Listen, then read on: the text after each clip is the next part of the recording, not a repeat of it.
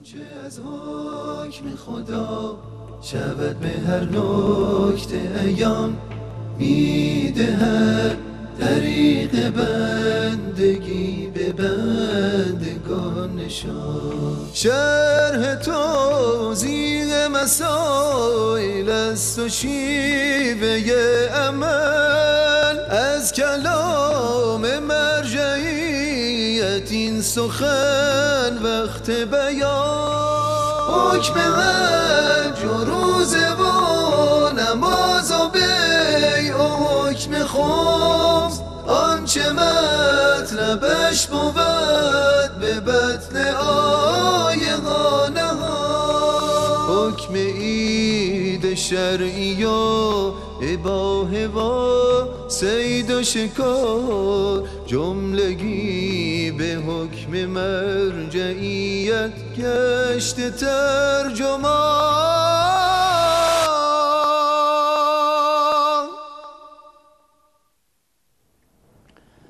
بسم الله الرحمن الرحیم. سلام روزتون بخیر دوستان همراه. سلام. سلام به شما عزیزانی که الان تا عبادتتون رو گذروندین و منتظر برنامه توضیح المسائل هستین عزیزان همراه و منتظر درس هر روز. پیامبر اکرم صلی الله علیه و آله و سلم میفرمایند هرگاه خداوند بنده ای را دوست بدارد مبتلایش می‌کند. پس اگر صبر کرد او را برمیگزیند. و اگر راضی شود به رضای خدا خداوند او را برای نعمتهای ویژه خود برمیگزیند. بهار الانوار جلد چهل و دو. انشاءالله که ایام به کامتون باشه. در خدمت جناب استاد رفعتی هستیم. خوش آمد و سلام دارم خدمتتون. خیلی خوش آمدید. سلامت باشید. سلام علیکم و رحمت الله انشالله سلامت سلام. باشید و دلتون شاد. تقدیم بکنیم این دعا رو محضر امام زمان علیه السلام. امیدواریم خود حضرت هم برامون دعا کنن و قبولمون کنن. بسم الله الرحمن الرحیم. اللهم كل وليك الحجة ابن الحسن صلواتك عليه وعلى آبائه في هذه الساعة وفي كل ساعة وليا وحافظا وقائدا وناصرا ودليلا وعينا حتى تسكنه أرضك طوعا وتمتعه فيها طويلا. وهب لنا رأفته ورحمته ودعاءه وخيره يا أرحم الراحمين. اللهم صل على محمد وعلى اللهم صل علی محمد و آل محمد و عجل فرجهم. دسته دوم ادله احکام که به عنوان اصول عملیه شناخته میشه. بحث این روزهای برنامه توضیح المسائل هست که از جناب استاد و از حضورشون فیض می‌بریم. در خدمتتون هست خواهش می‌کنم. من مقدمتا عضو می‌خوام اگر یه مقداری مباحث تخصصی شد و شاید بعضی از عزیزان یه مقدار سنگین باشه سخت باشه یا اذیت بشن حوصلشون سر بره. طبیعتا این مباحث به روانی مباحث توضیح المسائل نیست. یه مقدار ظریفتره دقیقتره علمیتره و حوصله و فکر بیشتر می‌خواد. اما طبیعتا به مرور زمان بعد از آنی که یک دور مسائل شرعی رو از ابتدا تا انتها مرور کردیم نیاز هست که این مرحله رو هم داشته باشیم. متوجه شدیم که برای رسیدن به باورهای اعتقادی سالم رفتارهای مورد رضای خدا و تکالیف شرعی ما چهار مدرک قوی داریم که عمده این چهار مدرک روایات اهل بیت علیهم السلام آیات قرآن که دستورات کلی رو عمدتا بیان فرموده و اجماع در این تعداد بسیار کمی از مسائل نسبتا به بقیه و عقل از اون مقدار هم کمتر تنها دلیل بعضی از مسائل بله خیلی از مسائل شرعی همراه با قرآن و روایات اجماع و عقل, رو هم به دنبال خودش به عنوان دلیل داره. یعنی چهار دلیل او رو اثبات می‌کنه. از این چهارتا که گذشتیم چهار دلیل دیگه است که در مرحله بعد یعنی بعد از آنی که اون چهارتای اول رو نداشتیم نوبت می‌رسه به اینها که اسمشون اصول عملیه است. که براعت بود احتیاط بود استصحاب و تخییر که عمدتا اونی که بیشتر مورد استفاده قرار می‌گیره استصحاب بود و براعت. یه مقدارم احتیاط که البته شما تو توضیح المسائل بیشتر کلمه احتیاط رو می‌بینید کلمه براعت رو نمی‌بینید. اما تکالیفی که حلال است جایزه است اشکالی نداره مقداریش دلیلش همون براعته. و همینطور استصحاب. اصول عملیه فرق مهمی با ادله اول داشت و اون این بود که اون ادله اول تخصص می‌خواد. اما این دسته دوم برای هممون مورد استفاده است. یعنی حتی شخصی که در روستا زندگی می‌کنه و هیچ سواد علمی نداره نیاز به اصل براعت و استصحاب پیدا می‌کنه. آب حوزی که در منزلشون داشتن کر بود. دست نجس رو توش می‌تونست بشوره. الان یه مدتی گذشته نمی‌دونه هنوز کر هست یا از کریت افتاده. دستشو در اون آب شست. حالا سوال می‌کنه آیا دستم پاک شده یا نشده؟ استصحاب کریت باید بکنه و آب اون حوز پاک میشه براش پاک کننده است و دستش پاک میشه. بنابراین خیلی خوبه که شما هر جا هستید یه مقداری با این ادله هم آشنا باشیم. فایده اولیش اینه که آرامش پیدا می‌کنیم. با عظمت دینمون و باورهامون آشنا میشیم که ما مثل بکری ها و مخالفین نیستیم. اونها در تقلید در اجتهاد رو بستن. حرفهایی که می‌زنن مدارکش عمدتا مسائل زنی و گمانی است. بله. عقلی گمانی و زنی و روایاتی که از درجه اعتبار ساقطه. ولی خب جمعش می‌کنن با یک سری مصالح و استحسانات و بر اساسش گذشتگانشون فتوا دادن. بقیه هم تقلید می‌کنن. و این امتیاز بزرگ را که ما روایات اهل بیت علیهم السلام هست در اختیار داریم کم کم لذتش تو این مباحث روشن خواهد شد. و یکی دیگه از فواد مهم میشیم بود که با وظائفمون در مواردی که نیاز به اصول عملیه هست بیشتر آشنا میشیم. بعد از این مقدمه که شاید یه مقدار هم طولانی شد البته بدونید خیلی مفصل تر از اینه. ما یه اشاره کردیم و انشالله وارد مباحث که شدیم. به مناسبت بعضیش یه مقدار بازتر هم خواهیم کرد. در قدیم بزرگان ما که کتاب می نوشتن عمدتا کتابایی که می نوشتن روایت بود. یعنی شما ببینید کتاب های شیخ مفید رو کتاب های شیخ توسی رو کتاب های ابن قولویه رو شیخ بله. صدوق رو. حتی تا زمان علامه شما نگاه می‌کنید عمدتا کتاب های حدیثی می نوشتن یعنی احادیث رو جمع می‌کردن. بله موضوع بندی می‌کردن. در موضوعاتی که روایات داشت روایت رو جمع می‌کردن تحت یک عنوانی. اینها سبب شد که مثلا علامه بگیم 300 تا کتاب شیخ توسی بگیم چند صد کتاب داشتن و همچنین مثلا شیخ مفید و دیگران. زمان که گذشت به خاطر اینکه این خیلی از این منابع از بین می‌رفت به مرور زمان دست نااهل میافتاد ظالمان و بیسوادای زمان اونها رو از بین میبردن. این دفعه نیاز شد که کسی اینها رو جمع آوری بکنه ضمن مجموعه. لذا مثل مرحوم مجلسی احادیث رو جمع کرد و به حال الانوار نوشت و همچنین جامع احادیث شیعه و کتابایی که یا وسائل و شیعه که این روایت رو جمع آوری کردن. بنابراین اول در هر بابی مثلا راجع به صلات هر چی روایات داشت راجع به صلات اون محدث بزرگوار تحت یک عنوان کتاب می‌کرد. هر چی روایت راجع به خمس داشت هر چی روایات در ابواب اخلاقی داشت یک کتاب می‌کرد. اون کتاب رو به عنوان کتاب روایی از خودش به یادگار میگذاشت. و در مقدمه اون کتاب اگر اون کتاب مربوط می‌شد به مسائل فقهی بله. مسائل اخلاقی و رفتاری خیلی پیچیده و سخت نیست.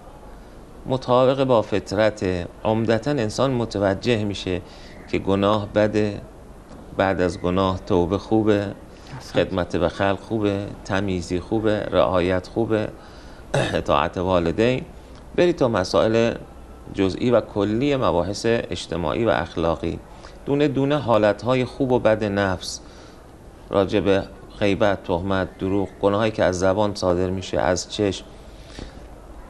اینا رو خود انسان کم و بیش متوجه میشه. بله. روایاتی هم که در این زمینه وارد شده معمولا روایاتی نبوده که دست توش ببرن یا نیاز به تعمل و دقت خیلی زیاد داشته باشه. لذا خیلی اجتهاد نمی‌خواد بله. روایات اخلاقی. یکی اونی که خیلی تعمل و دقت می‌خواد روایات در باب اعتقاداته که تخصصی است که زمین نخوریم اشتباه نریم. دوم روایاتی که در باب احکامه. تقریبا می‌تونیم بگیم بیش از 80 درصد اجتهاد و زحمت مربوط به روایاتی است که در باب احکامه چون بسیار وسیعه و روایاتش اونقدر نیست یا اون مقداری هم که هست با هم تعارض داره بعضا بله. و بیرون کشیدن احکام از به مرور زمان بالو پر بیشتری پیدا کرده ابتدای کار اینقدر سخت نبود اما الان کار سختتر شده چرا؟ چون الان تمام این مدارک در اختیار شما هست به عنوان یک شخص فقیه بنابراین باید تمام رو مطالعه بکنید. بنابراین باید تمام رو با هم کنار هم بگذارید باش بررسی بکنید اقوال علما رو هم در اون زمینه ببینید و به نتیجه صحیحی برسید. لذا مثل مرحوم کلینی وقتی کتاب کافی رو می نویسه در مقدمه کافی که معروف به دیباج است یک سری قوانین اصولی را یک سری مباحث مقدماتی را که به عنوان قواعد ما در کتاب روایتشون بهش احتیاج داریم ذکر می‌کنه. راجع به سند روایات صحبت می‌کنه. راجع به روایاتی که با هم تعارض دارن صحبت می‌کنه. راجع به حجیت خبر و مقدار حجیتش صحبت می‌کنه. در مقدمه کافی. و همچنین بزرگان دیگه مثل حتی محدث بهرانی که بعد از اینها هست در مقدمه کتاب رواییشون اینو می آوردن چرا؟ چون کتاب روایت کتاب فقه استدلالی نیست. لذا در مقدمه قواعد و ضوابط استفاده احکام را از این روایات برای ما بیان می‌کردن. حتی اونچه که مربوط به اصول دین هست. که اگر دو تا روایت با هم جمع نمی‌شد راجع به مسئله یه روایت ظاهرش این بود که انبیا معصوم نیستن و خطا از بله. اونها سر می‌زنه ولی در رسالتشون معصومن. یه روایت دیگه صریح در این هست که نه پیغمبرها نه فقط خطا نمی‌کنن در هیچ زمینه ای فکر خطا و گناه هم به اونها نمیاد سراغشون نمیاد. خب اینا رو چجوری باید با هم جمع بکنیم و تخصصی تو مقدمه اون کتاب ها آوردن؟ به مرور زمان اون دیباجه ها اون مقدمه ها بال و پر بیشتری گرفت. روایات باب بندی شد مرتب شد. و الان اون چه که به دست ما رسیده به همدلله خیلی کار رو آسون کرده. هم از نظر سند هم از نظر مضمون و دلالت روایات. ولی اون مقدمه ها خیلی دیگه وسیع شد. علمی رو تشکیل داد به نام علم اصول. اینی که الان ما گفتیم خیلی مختصر ذره بود از علم اصول. علم اصول تو بعضی از درس های تخصصی یعنی اصطلاحا در درس های خارج مراجع و اساتید حوزه گاهی یک دوره اصول که از بحث الفاظ شروع میشه و از مقدمات تا بحث تعادل و تراجیح یا اصول عملیه این مجموعه درسش تدریسش بحث علمیش گاهی بیش از 20 سال طول می‌کشه.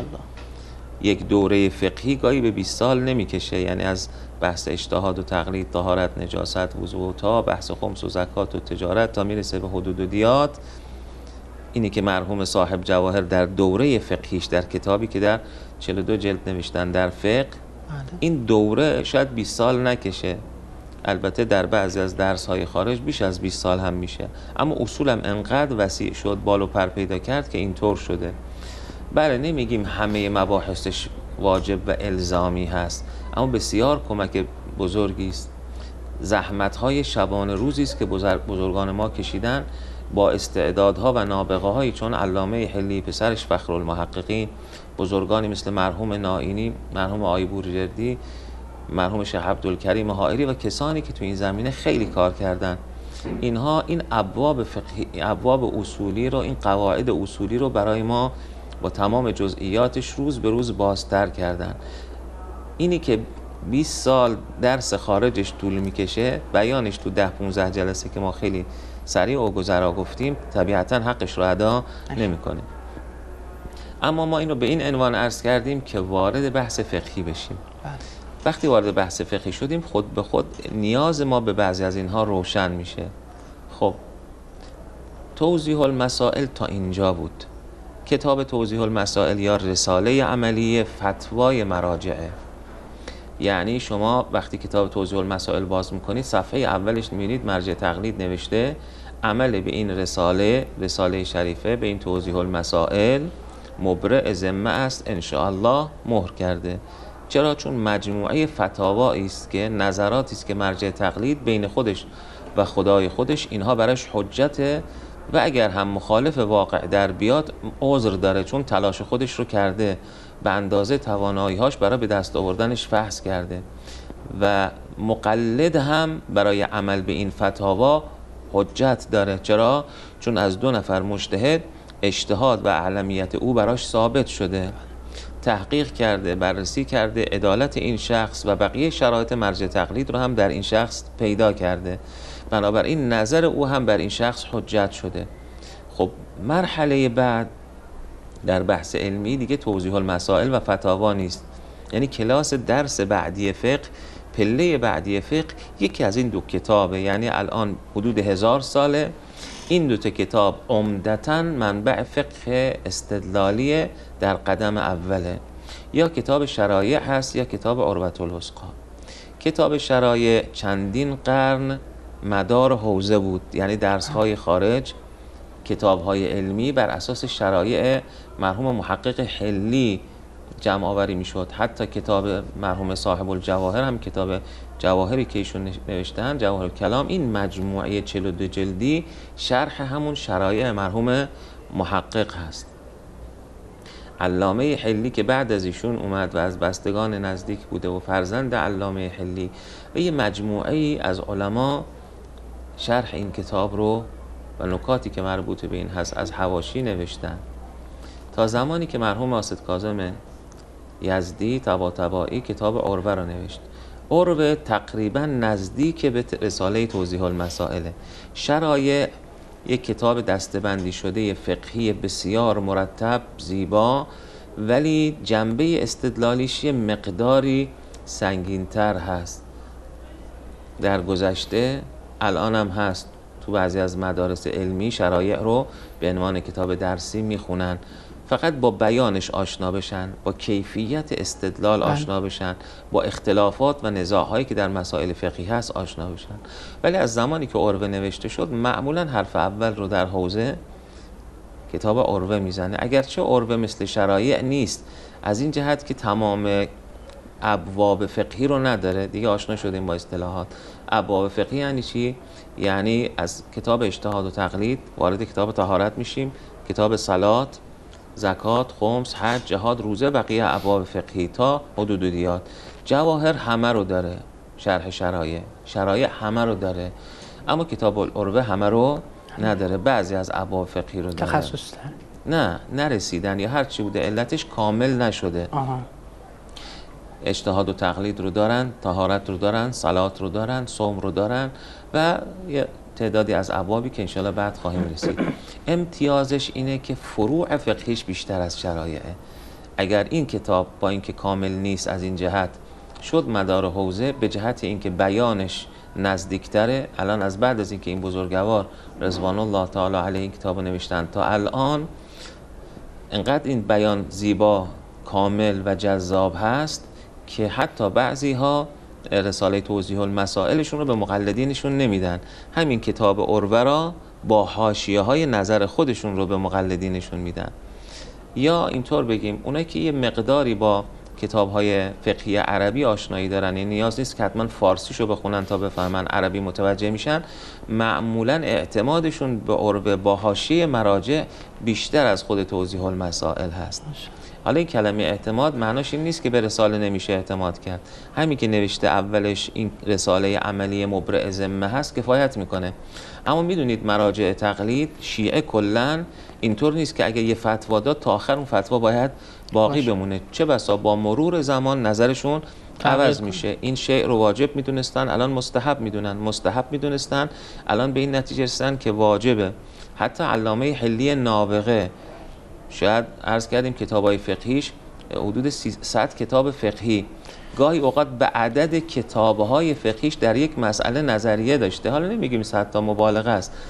اما خیلی نظرهای مختلف می‌داده. بهش گفتن جناب علامه چرا شما تو هر کتاب یه نظر دادی تو این مسئله؟ بله. می‌گفتن من هر روزی في شأن كل يوم أنا في شأن هر روزی من یه علامه یه علامه خیلی هستم حالا با تعبیر بله. من. یعنی امروز بررسی کردم ادله رو به این نتیجه رسیدم. فردا ادله رو بررسی می‌کنم متوجه میشم دیروز تمام نبوده از نظر استدلال. استدلال امروز تمامه. حالا آیا این اشکال بر اینها هست؟ نه این قطعا اشکال نیست. باید این چنین باشه. اجتهاد پویا یعنی همین. یعنی اگه یه حرفی رو زدم بعد فهمیدم اشتباس بر اشتباه خودم استوار نمونم. حالا چرا نظرشون عوض میشه؟ چون عرض کردیم خیلی دامنه فقه وسیعه. گاهی اوقات انسان یک روایت رو می‌بینه یک نظریه میده. بعد یک روایت دیگه ای که مربوط به این موضوع نیست یک باب دیگه فقهی بوده. باش برخورد بله. می‌کنه. می‌بینه در اونجا امام معصوم مطلبی رو فرمودن از اونجا استنباط می‌کنه. اون دلیلی که اونجا ذکر شده به درد این مسئله می‌خوره و حکم این مسئله براش تغییر پیدا می‌کنه و نظر میده. یا یه جایی براش شهرت و اجماع ثابت نبوده بعد از تحقیق شهرت و اجماع براش ثابت میشه. یا ثابت بوده برعکسش میشه می‌فهمه که ثابت نیست. اینا سبب میشه نظریهشون عوض بشه.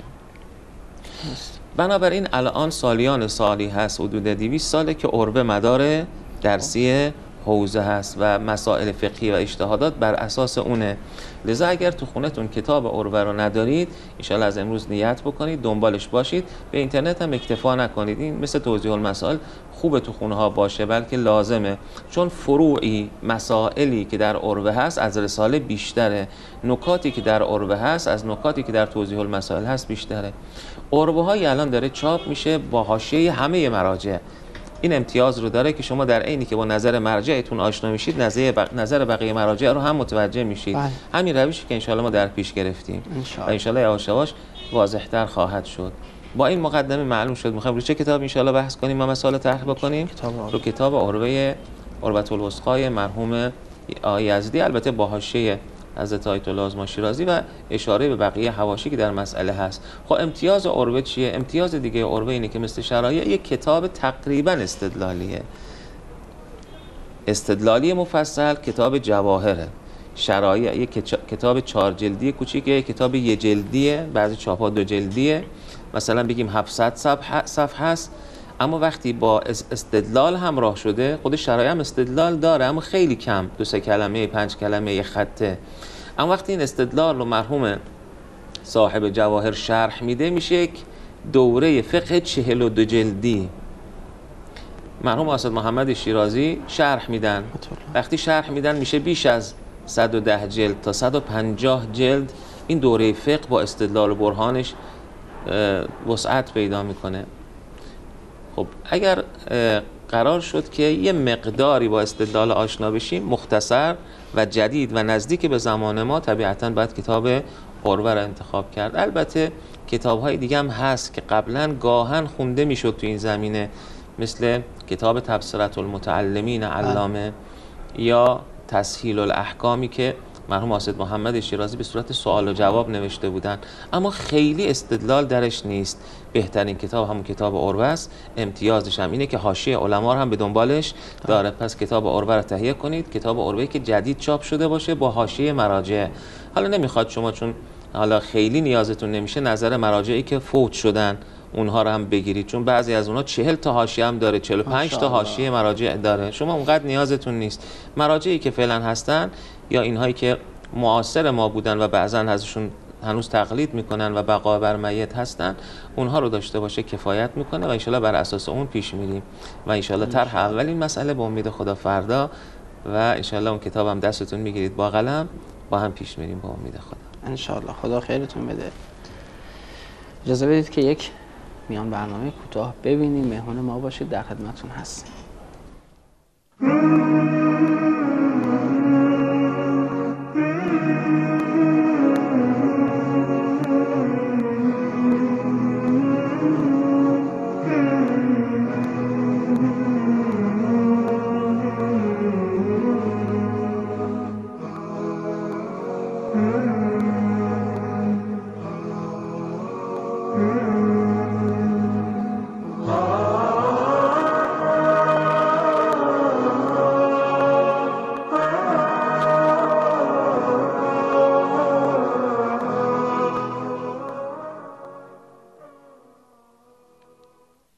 بخیر عزیزان بیننده دو صفر 964 771 779 38 93 شماره ارتباط شما عزیزان هست از طریق تلگرام و واتساپ. دوست عزیزی می‌گفت اینقدر این شماره رو تکرار نکن تا سوالاتی که تا الان رسیده دستمون بیان بشه. گفتم که از وظایف ما این است که شاید امروز بیننده جدیدی باشه که بخواد با احکام اونس بگیره و احکام براش لذت بخش بشه. خب با اجازت بسم الله الرحمن الرحیم. سلام نماز خوندن پشت سر امام جماعت که او را نمی‌شناسیم چه حکمی داره شرط صحت نماز جماعت یکیش این هست که امام جماعت رو از نظر عدالت احراز کنید. اسمش مهم نیست عدالتش مهمه. بله. بعضی وقتا دیده شده معمومین از هم سوال می‌کنن اسم حاج آقا چیه؟ بله. فکر می‌کنن تو نماز جماعت باید بگن اقتدا می‌کنیم با آقای فلانی. نه این مهم نیست. شما شخص امام جماعت رو قصد بکنید همون آقایی که جلو ایستاده کفایت می‌کنه. حتی اگر جمعیت زیاده نمی‌بینید شیخ سید پیر جوونه نیت می‌کنید امام جماعتی که حاضر هستن. فقط شرطش اینه که عدالتش رو بدانید احراز کرده باشید. یعنی آدمی است که اهل گناه نیست. حالا خودش و خلوتش و اینا ما نمی‌دونیم. اما به حسب ظاهر گناهی از او دیده و شنیده نشده. نمیگیم معصوم میگیم عدالت. عدالت همونی که شرط در مرجع تقلید شرط در قاضیه شرط در امام جماعت شرط در شاهده اه، که بشه اقتدا کرد. حالا از کجا بفهمیم این عادل هست؟ باش زندگی کردیم. سالهاست مسجد میایم میریم. نشنیدیم دروغی غیبتی یا جلسه گناهی یا اتفاقی. بله. یا اینکه اولین بار وارد این مسجد شدیم. اما معمومین رو می‌شناسم. اینی که من باش دارم میرم مسجد می‌دونم پشت سر هر کسی نماز نمی‌خونه. برام اطمینان آورد. اینم کفایت می‌کنه. بعضی از مردم جمعیت زیاد رو که می‌بینن یا مسجد یه مسجد حساسیه هر کسی نمی‌تونه اونجا از اینا مثلا اطمینان پیدا می‌کنن. دیگه اگر اطمینان کردید این برمیگرده به خود شما. اگر اطمینان کردید از روی قرائن و حالات که امام جماعت عادل هست بله وسواس نمی‌خواد. قسم حضرت عباس دادنم نمی‌خواد. ظاهر کفایت می‌کنه. بله اگه یه وقتی فهمیدیم این عدالت اشتباه بوده و عادل نیست دیگه حق نداریم جماعت بخونیم. اما حتما باید این رو عدالت رو احراز بکنیم. خب آقا من فکر می‌کردم امام جماعتی که میشناسمش و عادل وسط نماز یا نماز که تموم شد دیدم اون امام جماعت نیومده یه امام جماعت دیگه جاش اومده. بله. اگه نم- امام جماعت دوم را هم عادل می‌دونستید مشکلی نداره. یعنی براتون ثابت شد. خب اینو آقای اولی فرستاده. اون حتما عدالتش رو می‌دونه که فرستاده. شما براتون اطمینان ایجاد شد. البته این نکته هم راجع به خود امام جماعت عرض بکنم.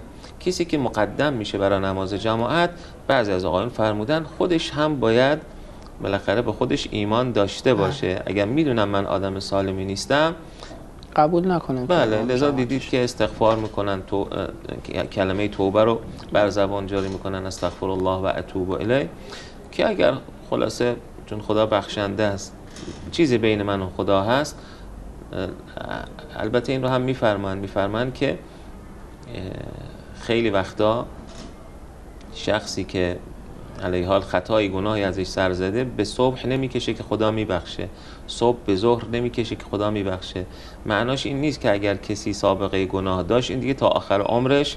آدم روسیاهه و این دیگه بهش دردی نمی‌خوره نه اینطور نگاهی هم نباید به مردم داشته باشه. این احتمال رو بدیم که بین خودش و خدای خودش نیمه شبی بلند شده استغفار کرده و خدا رو بخشیده. علیه حال نه این طرف باید وسواس به خرج داد نه اون طرف. خیلی متشکرم.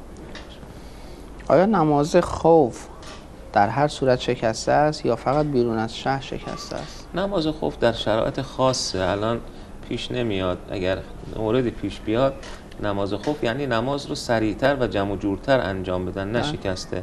نماز شکسته فقط مال مسافر هست بله. شکسته نمیشه. خیلی متشکرم. دوست عزیز پرسیدن که اگر کسی به, ک- به یکی شک داره که واسه جادو درست کرده و میونش رو با همه خراب کرده برای ش- رفع شک اشکال نداره قسمش بده به قرآن یا اینکه این کارو کرده یا نه؟ خب این از بین بردن دوستی هاست. این نکته خیلی مهم. تو بحث اجتماعی. بله. و اون اینه که دوستانی که عمری گاهی با هم دوست بودید از بچگی اینا سی سال همدیگر رو می‌شناسن. شیطون اومده می‌خواد بینشون خراب بکنه. به شکلهای مختلف تلاش کرد نتونست. یه شکی ایجاد می‌کنه که این داره حسادت به من می‌کنه و شاید تصرفی تو زندگی من کرده. گاهی اوقات فامیلن. این اتفاق تو زنها بیشتر میفته تو خانمها بیشتر اتفاق میفته میگه خب من می‌خوام خیالم راحت بشه که کاری نکردی. شما برای اینکه خیالت راحت بشه او رو قسم میدی. ولی می‌دونی با این قسم دادن دوستیت اون دیگه لکه دار میشه. دیگه مثل اول نمیشه. این دیگه وصله و پینه خورده. این دیگه بخیه شده. این دیگه مثل اون اصل سفت و قرص و محکم نخواهد بود. حفظ این رفاقت خیلی مهمتر از رفع شک شماست. خیلی مهم انسان تو حرفی که می‌خواد بزنه تو تعاملی که می‌خواد با مردم بکنه تعمل کنه. به قول قدیمی می‌گفت حرف قبل از آنی که بزنی یکم نشخارش کن. یکم تو خودش بچرخونش. ببین این آزمایش حرف. شما می‌خوای طرف رو قسم بدی این حرف دیگه. شما می‌خوای قسمش بدی اونم قسم می‌خوره یا نمی‌خوره؟ اگه قسم نخورد چک تو بیشتر میشه از دستش میدی.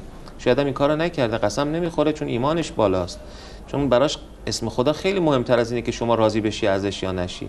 کار کار مهمی نیست. شما من شک داری شک داشته باش. با شکت برو پیش. اصلا کسی که من شک داره من نمی‌خوام باش رفاقت و آشنایی داشته باشم. چه واسه تصور اینطوری داره و شما از دستش میدی.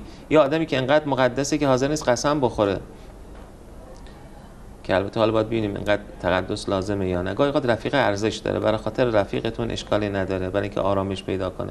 اما من نباید قسمش بدم. ذوق فکر عقل تعمل اقتضا می‌کنه که این حرف رو نزنم و این درخواست ازش نکنم. خصوصا تو مسائل کوچیک.